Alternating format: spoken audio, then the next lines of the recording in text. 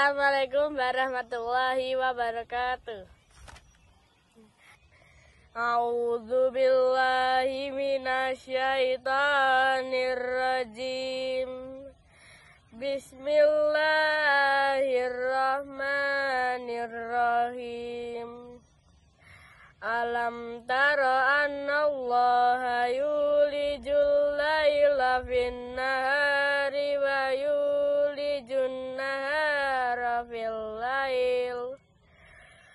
wa sahhara syamsa wal qamar Gulu yajri ila ajalim musamma wa anna Allah ta'maluna khabir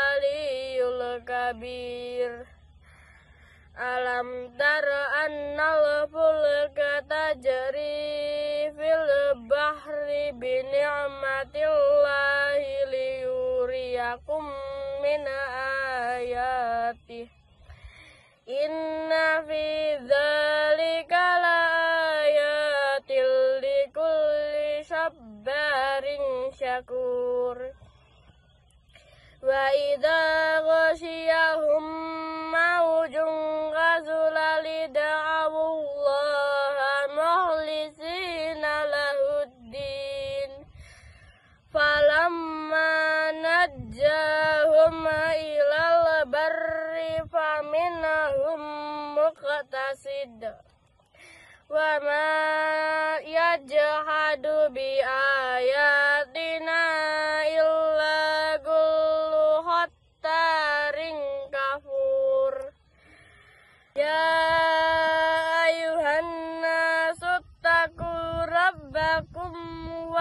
wahsyaw yawmal la yajzi walidun aw waladih wala mauludun huwa jazin aw walidihi syai'a inna wa'dallahi haqqun fala tahurrannakumul hayatud dunya wala yaghurrannakum billahil ghurur.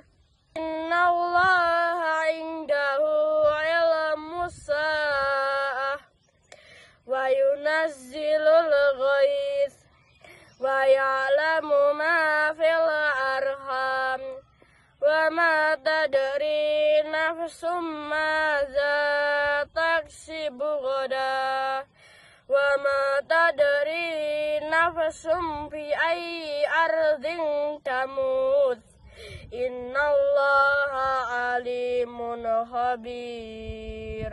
Sadaqallahul azim. Wassalamualaikum warahmatullahi wabarakatuh.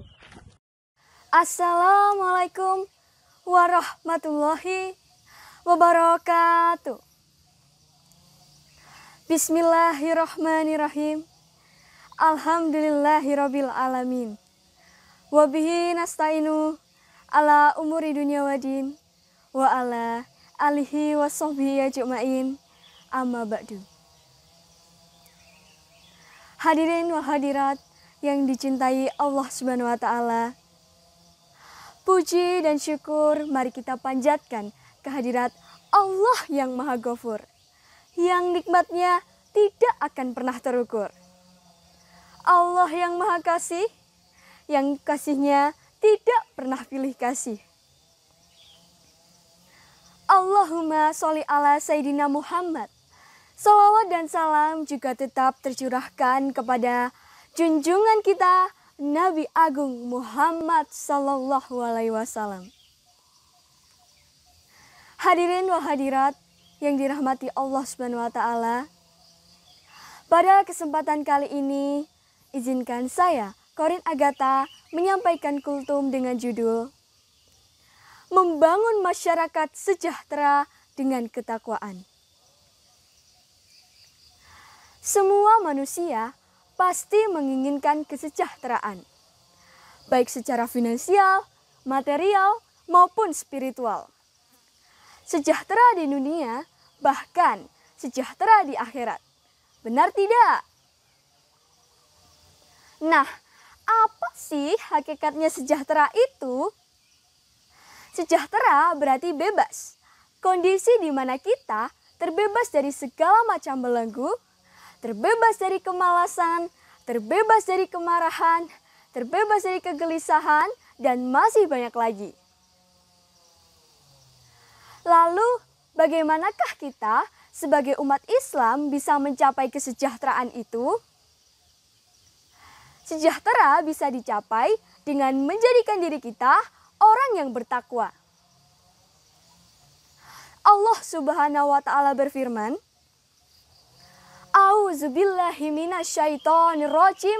Bismillahirrahmanirrahim. Innal mutakina fi jannati wa uyun. Udukuluha bisalamin aminin. Sodakallahul azim. Ayat tersebut menjelaskan perintah Allah kepada orang yang bertakwa. Wahai orang-orang yang bertakwa, masuklah kalian semua ke dalam surga yang dipenuhi dengan mata air yang mengalir. Masuklah dengan kesejahteraan dan keamanan.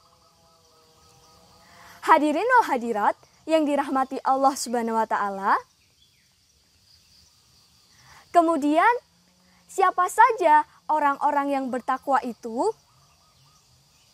Apakah semua orang Islam, semua umat Muslim orang bertakwa?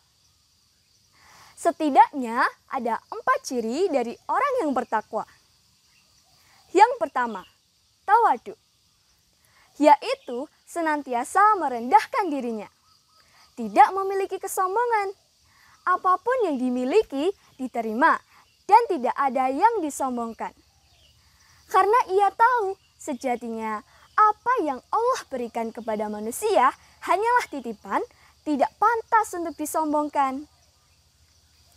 Yang kedua, khona'ah. Yaitu menerima segala sesuatu yang Allah Subhanahu wa taala berikan. Diberi rezeki sedikit, alhamdulillah. Diberi rezeki banyak, apalagi Alhamdulillah. Segala ketentuan yang Allah berikan diterima dengan ikhlas dan tidak mengeluh. Meskipun hakikatnya manusia diciptakan sebagai makhluk yang penuh dengan keluh kesah. Inal insana huliko halua. In face, humans were created to be complaining and stingy. Sesungguhnya manusia diciptakan dengan sifat penuh keluh kesah lagi kikir. Yang ketiga, waro, yaitu mencegah diri, menghindarkan diri dari segala perkara yang dilarang. Nah, dalam hal ini, salah satu cabang keimanan adalah kauf, rasa takut dari azab Allah Subhanahu wa Ta'ala. Dan serendah-rendahnya derajat ketakutan adalah alwaro. Mencegah diri dari segala perkara yang telah dimakruhkan. Yang keempat, yakin. Orang yang bertakwa selalu yakin apa pun yang Allah berikan adalah yang terbaik bagi dirinya. Karena al-yakinu la yuzalu bisyak Faith cannot be lost, it cannot be erased by thought. Keyakinan tidak bisa dihapuskan. Keyakinan tidak bisa dihilangkan dengan keraguan. Sahabat-sahabatku yang dicintai Allah Subhanahu wa taala, itulah tadi empat ciri dari orang yang bertakwa. Ketika kita mampu dan mau berusaha untuk melengkapi empat hal tersebut, insya Allah Allah akan golongkan kita menjadi orang-orang yang bertakwa. Dan ketika kita digolongkan menjadi orang yang bertakwa, insya Allah kita akan dekat dengan rahmat Allah, kita akan dekat dengan kasih sayang Allah, dan janji Allah mendapat kesejahteraan. Sejahtera di dunia, terlebih sejahtera di akhirat. Sekian yang dapat saya sampaikan. Semoga bermanfaat dan semoga kita diberikan kesehatan dan kemudahan dalam menjalankan segala ibadah. Dan semoga semua amal ibadah kita diterima oleh Allah Subhanahu wa taala. Amin amin ya robbal alamin. Demikian yang dapat saya sampaikan. Akhirul kalam. Wabillahi taufik walidayah. Wassalamualaikum warahmatullahi wabarakatuh.